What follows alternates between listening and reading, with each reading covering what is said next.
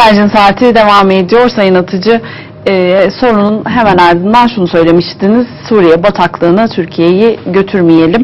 Ama şu aşamada Türkiye gerçekten e, bıçak sırtında belki de Kobani'ye girecek mi girmeyecek mi ya da içerideki bu e, gösterileri nasıl önleyecek bu anlamda ciddi sıkıntılar var. Sizi dinlemeye devam Yani edelim. Türkiye savaşa girmedi ama savaş Türkiye'ye girdi. Bakın bunu çok önceden söylemişti Cumhuriyet Halk Partisi. Evet biz evlatlarımızı, biz gençlerimizi Orta Doğu bataklığından uzak tutmak mecburiyetindeyiz. Ama sınırlarımızı iyi koruyamazsak, iyi strateji belirleyemezsek, çapsız stratejiler ortaya koyarsak savaş gelir bizim ülkemize girer. Savaşı ithal etmiş oluruz. Bugün maalesef savaşın ithal edildiği günleri yaşıyoruz. Türkiye'nin ithal etmediği bir tek savaş kalmıştı bunların döneminde, bu AKP'nin döneminde. Şimdi savaşta ithal olmuş durumda. Yani bu söylediklerinde bir yanılgı varsa birisi çıksın söylesin, hayır desin Türkiye'ye savaş girmedi. Yani 30'dan fazla vatandaşımız öldü çok birkaç gün içerisinde.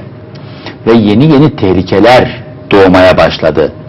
Şimdi Türkiye'nin bir yerinde bir e, eylem olduğunda eskiden mesela bu eylem polisle e, çatışmacılar arasında olurdu. Polisle direnişçiler arasında olurdu. Direnişçiler eylem yapardı. Polis e, müdahale ederdi. Şimdi öyle bir noktaya geldi ki Hüdaparlılarla e, HDP'liler arasında ölümüne bir kavga başladı. Yani Hizbullah'la PKK arasındaki kavganın uzantılarını şimdi ithal etmiş oldu Türkiye. Bu ciddi bir durumdur. Bu çok ama çok tehlikeli bir durumdur. Sayın Başbakan 90'lı yıllara dönmeyeceğiz diyor. Sayın Başbakan dünyadan haberi yok. Türkiye'den de haberi yok.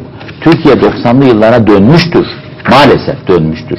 Ne vardı 90'lı yıllarda bir hatırlayalım. Şöyle bir e, beynimizi bir zorlayalım.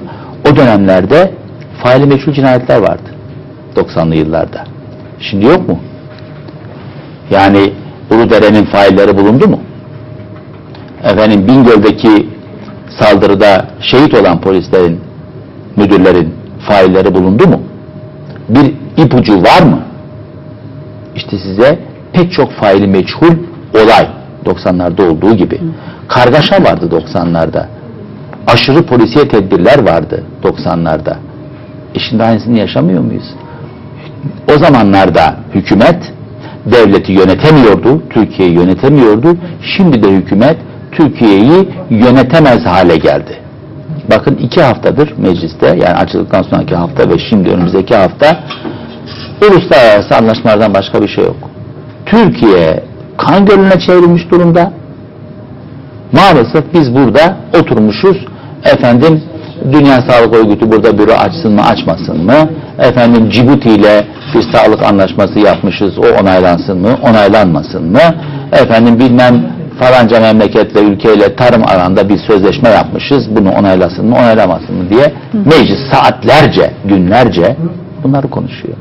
Yani bu hükümet devleti yönetemediğini açıkça, net bir şekilde gösteriyor.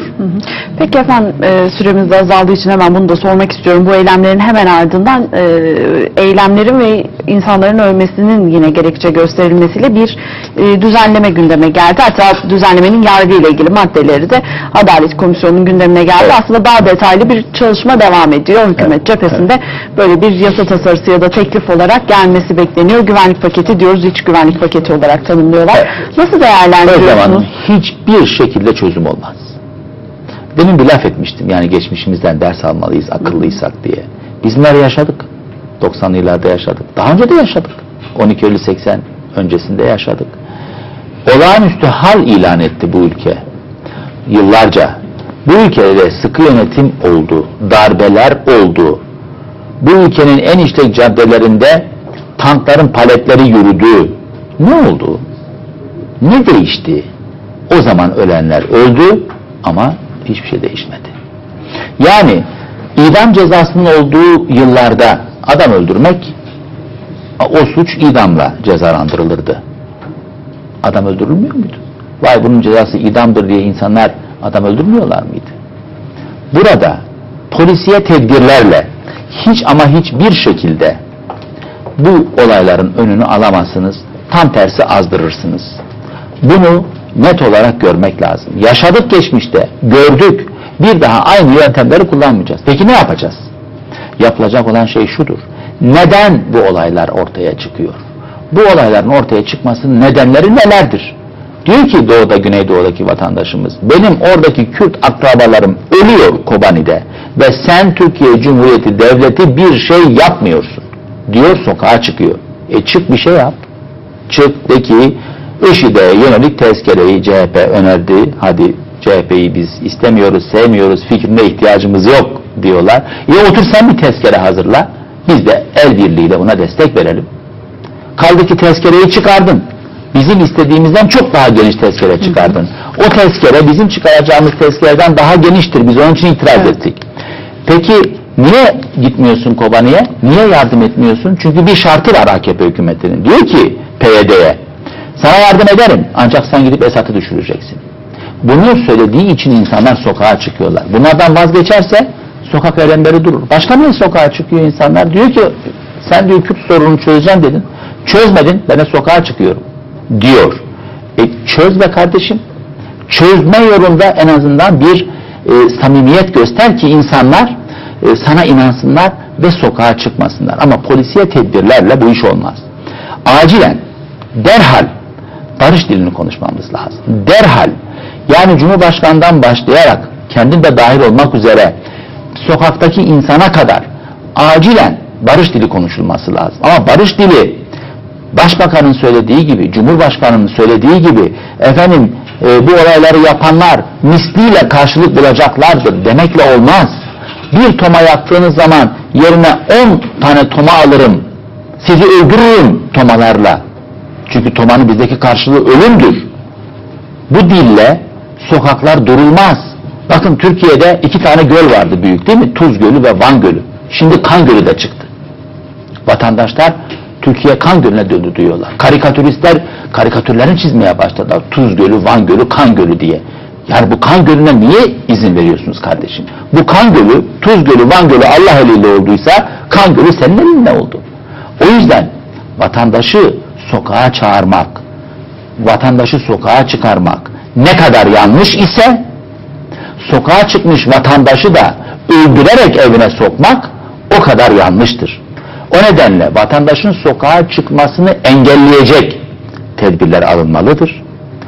Ve bu vatandaşların özgürlükleri kısıtlanmamalıdır. Özgürlük derken asla yakmayı, yıkmayı kastetmiyorum. Buradan okul yakanları lanetliyorum. Bankamatikleri, bankaları yakanları, şiddet uygulayanları lanetliyorum. Kim olursa olsun, hangi örgüt olursa olsun, hangi mensubu, neyi mensubu olursa olsun hiç umurumda değil. Evet. Şiddet yapan herkesi efendim. lanetliyorum. Ancak bu şiddete neden olan insanların da derhal derhal ülkeyi yönetemediklerini görüp istifa etmeleri gerektiğini düşünüyorum. Bu ülkeyi yönetemediğiniz için insanlar sokağa çıkıyorlar. İnsanlar sokağa çıksınlar. Bu sorun değil. Yeter ki şiddet olmasın. Ama sen Türkiye Cumhuriyeti'ni yöneten AKP hükümeti olarak puşi takan çocukları, cebinde yumurta taşıyan çocukları bu yumurtayı atma ihtimaline karşılık hapse attın. Puşi'yi taktığı için hapse attın. Şimdi de artık durma zamanı, barış dili konuşma Peki, zamanı. çok teşekkür Ben ediyoruz değerlendirmeleriniz için. Sayın seyirciler Haberci'nin saatinin bugün de sonuna geldik. Hafta başından itibaren yine karşınızda olacağız. Hoşçakalın diyoruz.